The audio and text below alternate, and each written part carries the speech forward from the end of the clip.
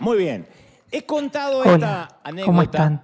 Los en invito a escuchar esta nueva En reflexión. eh, 1915, Charles Chaplin había ganado una inmensa popularidad en toda América, de modo que surgieron infinidad de imitadores eh, que recorrían los circos, recorrían los teatros, ganándose la vida emulando a este genio del humor del cine mudo. Y hubo tantos imitadores para ese entonces que se hicieron que se invente un concurso nacional en los Estados Unidos en el que se premiaba al que mejor realizara la imitación. Y en uno de los viajes que Chaplin hizo a San Francisco, le llegó la noticia de uno de estos concursos y decidió participar. Se anotó, sin decir que era el verdadero. Increíblemente no pasó de la primera ronda, fue rechazado por los jueces de inmediato. Fue sorprendente. La noticia recorrió el mundo. Nos- nunca supieron que tenían al real, al verdadero. Lo que sucedió tiene una razón. El verdadero Chaplin fue a ser de él mismo. Entonces se movía de manera normal, como lo hacía cada vez que rodaba sus películas. Pero los imitadores se movían mucho más rápido tratando de imitar la cámara rápida del cine. Y eso causaba mucho más gracia. Chaplin estaba acostumbrado a moverse normal. La cámara luego lo aceleraba. Los imitadores iban acelerados, entonces parecían más reales que el verdadero. Entonces, de alguna manera, Chaplin fue el primero en estar atrapado en su propio avatar, o sea, que la gente se había adueñado de su imagen y no admitían que Chaplin caminara de manera real. El avatar digital es una representación de una persona para identificarse en videojuegos, en aplicaciones. Uno si no quiere poner la foto, se hace un avatar mucho más joven, mucho más delgado y lo pone ahí. Esos avatar- avatares, avatares o avatar generalmente representan el aspecto físico de la persona. Son parecidas, uno los puede hacer, pero siempre es una super versión ultra, hiper, macro, extra, archi mejorada de lo real. Cuando uno ve el avatar se enamora, cuando ve la persona real dice, Satanás, ¿qué pasó? Y volviendo a la historia, Chaplin, si quería ser aceptado por sus propios admiradores, debía caminar y debía lucir como ellos esperaban que caminara y que luciera, si no, no lo iban a aceptar. Estaba atrapado por la imagen que él mismo había proyectado. Y el mismo síndrome le ha sucedido a varios actores famosos. El público nunca pudo ver a Christopher Reeve en otra película o en otra saga que no fuera Superman. Él mismo decía, antes de tener su accidente, que estaba atrapado en ese personaje. Nos cuesta ver al británico Rowan Atkinson, que es un gran actor dramático, lejos de su entrañable Mr. Bean. Uno lo ve inmediatamente y no lo toma en serio, aunque esté hablando en serio. Mucho menos somos capaces de ver a Stallone sin identificarlo de manera inmediata con Rocky o con Rambo, o no podemos ver a Michael Fox sin que nos lleve a la memoria a Marty McFly, o a Linda Blair, que quedó varada en la endemoniada del exorcista. No pudo hacer ningún otro papel, porque quien la veía en los castings decía, eres la endemoniada del exorcista. A Robert Downey Jr., que nos cuesta verlo fuera del papel de Tony Stark, a Johnny Depp, que siempre lo vemos y nos parece siempre que está desgreñado, desalineado, sucio, porque vemos a él, al Capitán Sparrow. A Schwarzenegger nos cuesta verlo como, como otra persona que no sea Terminator, aun cuando era gobernador de California, le decían el Gobernator. ¿Mm? Y esta gente ha perdido contratos millonarios, porque los agentes de casting están conscientes que el público no quiere ni puede separarlos de los personajes que los lanzaron a la fama. Por esa razón los grandes actores suelen rechazar los papeles de superhéroes porque podrían quedar en la mayoría de los casos anclados a ese personaje. Y ese podría ser el último papel de sus carreras, porque después nadie los quiere ver en otro papel. Lo vemos como Superman, como Batman, etc. Y cuando yo meditaba en estas historias, me daba cuenta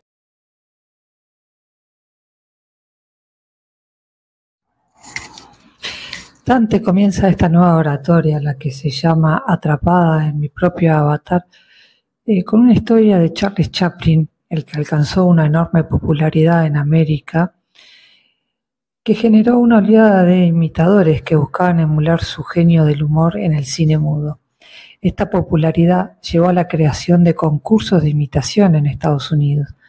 En uno de estos concursos, Chaplin decidió participar sin revelar su verdadera identidad. Sorprendentemente, fue rechazado por los jueces en la primera ronda. Esta anécdota revela cómo Chaplin quedó atrapado en su propio avatar, ya que los imitadores se movían más rápido que él, imitando la cámara rápida del cine.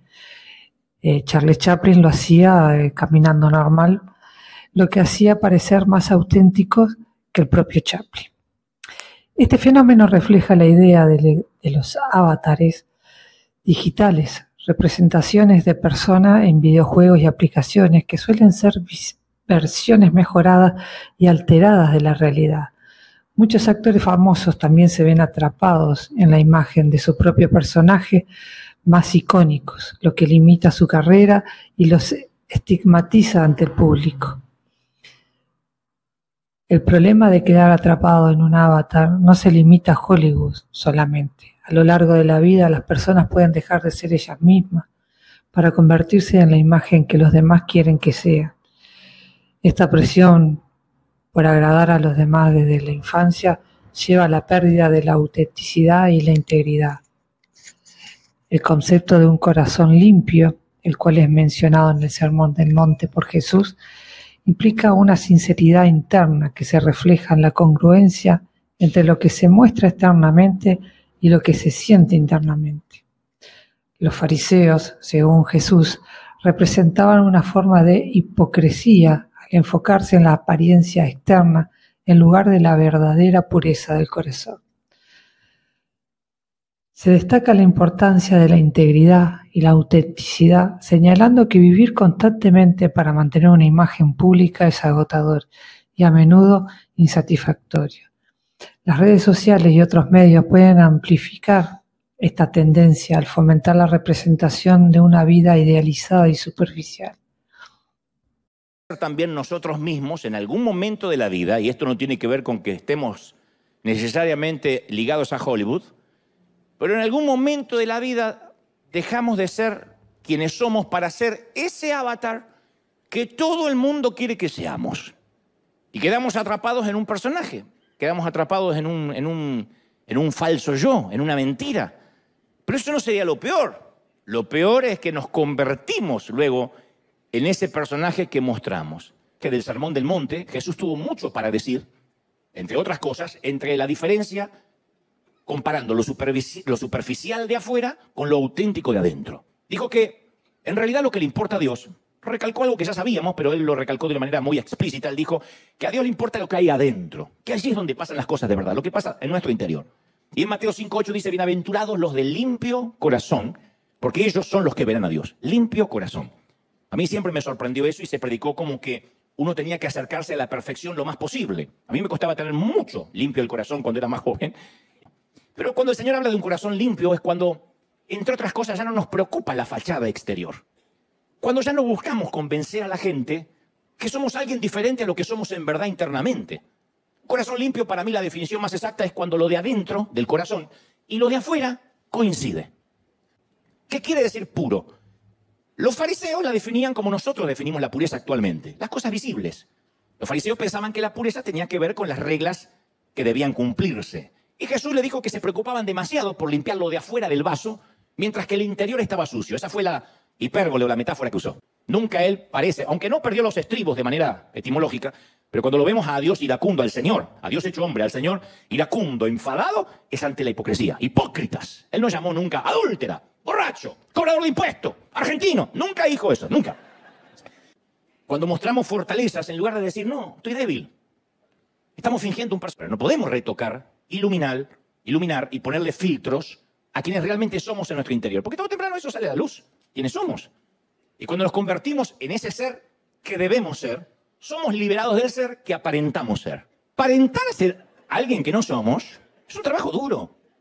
Y tener que proyectar una imagen todo el tiempo agota, drena. Entonces, cuando uno se cree que es ese espiritual que muestra, entonces no busca a Dios de corazón.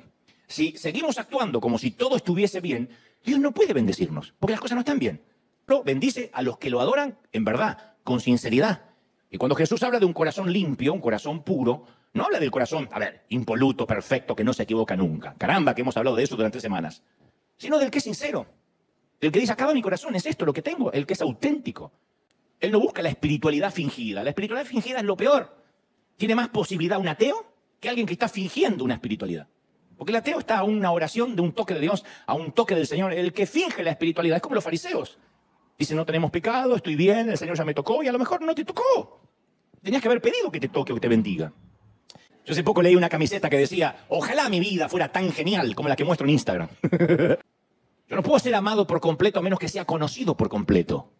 Ser conocido por completo es el don más sanador que un ser humano le puede dar a otro. Eso es lo que realmente uno puede brindarle a otro. ¿Repito? Y el Señor sigue predicando en la montaña y apunta su mensaje directo a los fariseos y por, y por siempre a su hipocresía, que, que lo repugnaba, y dijo, cuídense de no hacer sus obras de justicia delante de la gente para llamar la atención. Si actúan así, su Padre que está en el cielo no les dará recompensa. Entonces, en lugar de cuidar y amar a la gente, a veces cuidamos cosas. Cuidamos los de afuera, el, altar santo, el lugar consagrado. No, es porque es más fácil consagrar cosas, madera, mesas, altares, púlpito, que consagrar el corazón. Es más fácil decir, yo tengo un altar sagrado, el templo es sagrado, pero el templo es este. Aquí vive el Señor y ese es el corazón puro que el Señor está buscando. ¿Estamos de acuerdo, sí o no? Cuando oren, no sean como los hipócritas. Está hablando Jesús. Entonces uno se pone a fingir y es una pérdida de tiempo. ¿Y hablar con Dios qué es? Comunicarnos sin preocuparnos por ver cómo suena. Si uno está enojado, está enojado. Por eso está el libro de lamentaciones del profeta Llorón. Si uno está enojado, está enojado. Si uno está iracundo, está iracundo. Porque por más que yo reprima el enojo para decirle a Dios, Señor, amo a mi hermana. No, Dios sabe que no. Prefiero que le diga, tengo ganas de apretarle el cote. Necesito que me ayudes. Y eso coincide lo exterior con lo que Dios ve, con lo interno. Ahí es cuando uno, Dios puede trabajar, intervenir un corazón. Sé real. Mi casa es tu casa, conmigo no. Finge con todo el mundo, conmigo no fingas. Entonces, nuestra afición al avatar nos impide tener esa relación íntima, auténtica, que Jesús quiere que tengamos con Él, porque es lo que busca esa autenticidad. Esto es lo que busca. Dante nos, nos comenta, nos habla sobre un desayuno que tuvo con eh, Juan Carlos Ortiz, ilustra cómo la honestidad y la apertura sobre las propias debilidades pueden fortalecer las relaciones y permitir una conexión genuina con los demás. El mensaje central que nos deja es que la verdadera sanidad y la conexión significativa con los demás solo puedan lograrse a través de la sinceridad, la vulnerabilidad y la autenticidad, mientras que la búsqueda constante de la, constante de la aprobación y la representación de una imagen pública puede llevar a una vida superficial y vacía. La autenticidad es un valor esencial en la vida cristiana, tal como lo enseñó Jesús al criticar la hipocresía de los fariseos, quienes buscaban reconocimiento público por su aparente piedad. Ser auténtico implica sinceridad acerca de nuestras debilidades y pecados. Sin pretender ser perfectos, se resalta la importancia de que la Iglesia sea un refugio seguro donde las personas puedan admitir sus fallas y encontrar apoyo para levantarse. La, falsa imagen de perfección solo aleja a las personas y genera desconfianza en la comunidad cristiana. Ser auténtico implica vivir con sinceridad y transparencia ante Dios y los demás, aunque no, necesariamente revelemos cada detalle de nuestra vida. Se promueve la construcción de relaciones genuinas basadas en la sinceridad y la honestidad, tanto con Dios como con los demás miembros de la comunidad cristiana. A partir de la autenticidad un corazón puede cambiar, un corazón puede buscar la santidad. A partir del fingimiento no. ¿Cómo se ayuda a alguien que no quiere cambiar o que finge? ¿Cómo se manda a un ebrio a Alcohólicos Anónimos y le dice, necesitas ayuda? Yo no, no, yo no tomo. Yo no me tomo para olvidar. ¿Para olvidar qué? Para olvidar que soy un borracho. ¿Cómo lo ayudas? Los novios suelen actuar y fingir siempre durante las citas. Es algo que hacemos. Los novios siempre, los novios, las novias siempre huelen bien, son simpáticos, pagan la cuenta las primeras veces muestran su versión avatar, porque quieren seducir al otro. Se ríen de cualquier cosa. Es que se ríe qué estupidez, pero quiere ser simpático, simpática. Pero, esa risa falsa la aprendí de mi mamá. Mi mamá se reía así, decía, hola, ¿cómo te...? Decía, ay, no puedo creer que vino la Sara, era la hermana. Porque se acuerdan que antes en, nuestros países las visitas no se anunciaban. Acá en Estados Unidos tenés que decir, voy a tal hora y me voy a tal hora. Allá en Argentina te caían pin, el timbre, salían los perros ladrando. ¿Quién es? ¿Quién es? Ay, no te puedo creer la sal. Desgraciada, a esta hora no tenemos para comer. Ay, Dios, no atiendas, viejo, no atiendas, no atiendas. Ya me asomé. Ay, ¿por qué te asomaste? Ahora hay que atenderla. Salía mi mamá. ¡Hola! ¡Qué sorpresa! Pensando en ti. Así. Con Dios uno puede bajar la guardia, porque no necesitamos esconder nuestros defectos, ya los conoce. Y la satisfacción es plena, profunda, porque es mucho más fácil ser uno mismo que sostener una falsa identidad. Es más fácil ser uno mismo, no, no agota. Porque eh, con Dios es una relación, no un casting para quedar en una película, donde tengo que actuar y saberme las líneas. Es una relación. A ver, ¿a quién escuchamos cuando necesitamos ayuda? ¿De verdad que buscamos a la persona intelectual, a la religiosa, que sabemos que nos va a juzgar apenas le confesemos algo? O, o buscamos a la persona que ya pasó por nuestro camino y que sobrevivió para contar la historia. Piensa en la última vez que te desmoronaste y lloraste delante de una amiga o de un amigo. Quizá en el momento te sentiste un poquito avergonzado, pero yo te aseguro que ese, ese momento de vulnerabilidad que yo tuve con Ortiz, yo estoy convencido que eso cimentó tu amistad más que cualquier otra experiencia. El arma más formidable de la retórica que yo jamás haya conocido, que a mí me sorprende lo poco que la usan algunos colegas, se usa muy poco, es el contar debilidades, el mostrarte como antihéroe. Y van muchos con el prejuicio, este es un religioso. Ahora empieza a coachearme desde arriba, a ponerse en un pedestal y a decirme cómo tengo que vivir.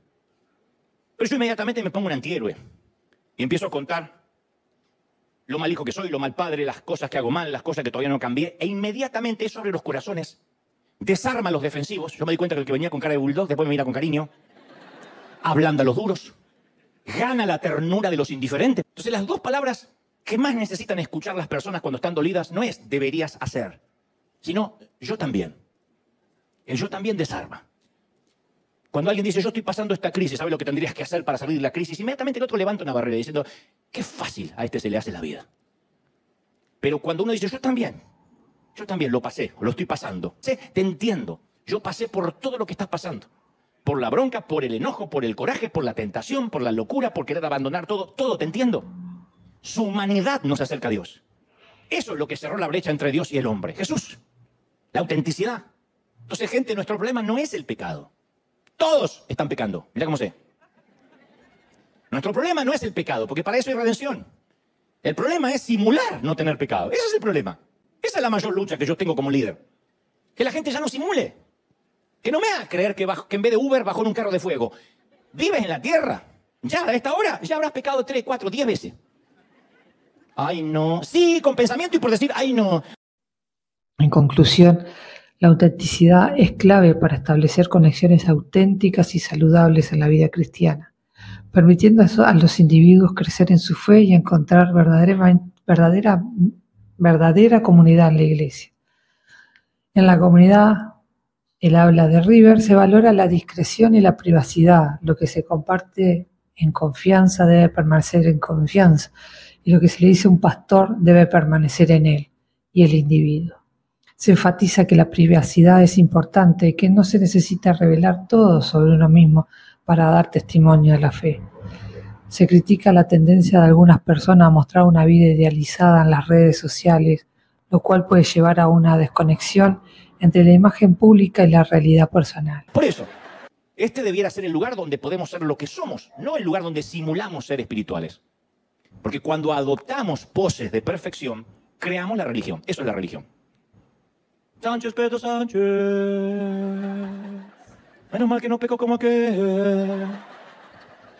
Tu abuela, porque no te descubrieron? Esto va a salir al aire, sí. De hecho, de hecho, es el cansancio de venir de Ecuador y, las oraciones se profundizan cuando la gente es real, cuando es sincera acerca del pecado que todos tenemos en común. Y si hay un predicador que dice que ya no peca, es un timador. Porque al decir que no peca ya es un soberbio y está pecando. Entonces el Espíritu Santo solo fluye en la transparencia. Cuando logramos entrar a la zona de la sinceridad y dejamos de fingir, recién ahí podemos ser llenos del Espíritu. Lo demás es chiripiorca fingida. Se menciona el caso de parejas que exhiben su amor públicamente pero terminan separándose en privado, lo que demuestra la falsedad de esa imagen idealizada. Se habla sobre la importancia de la honestidad y la autenticidad y se reconoce que todos somos humanos y cometemos errores. Se alienta a ser uno mismo sin fingir ser algo que no somos, ya que la verdad nos hace libres. Se rechaza la idea de complacer a los demás o de cumplir con las expectativas de la sociedad, enfatizando que lo único que importa es la opinión de Dios sobre uno mismo. Se menciona que la verdadera conexión con, Dios proviene de la autenticidad y la sinceridad. Se alienta a reconocer los propios errores y a pedir perdón sin justificarse. Se enfatiza que la verdadera humildad viene de reconocer nuestra humanidad y nuestra necesidad de Dios.